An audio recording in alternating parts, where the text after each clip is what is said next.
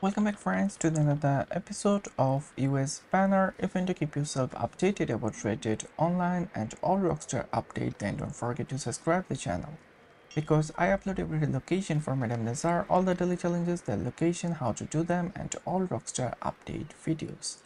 In this episode, I'm going to show you guys where is Madame Nazar for today 25th December.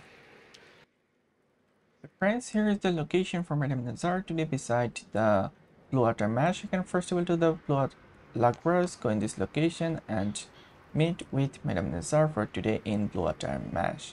So friends, if this video helped you to find Madame Nazar, don't forget to give me a thumbs up and leave a comment in the comment section. And if you want to keep yourself updated about Red Dead Online and all Rockstar update, then don't forget to subscribe the channel. See you guys in the next episode. Till then, take yourself and stay happy.